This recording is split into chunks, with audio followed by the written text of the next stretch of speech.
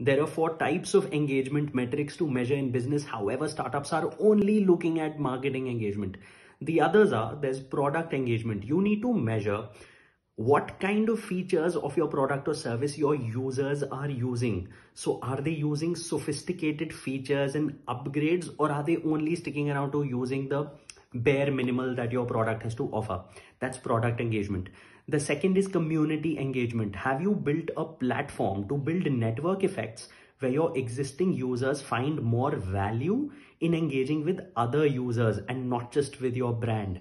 That is community engagement. And the third type is advocacy engagement. You measure how many of your existing users are selling your product and service to others and getting you more business. So you don't just look at the net promoter score, you also look at how many of these referrals are coming in and converting to sales. Share it with someone who may need it.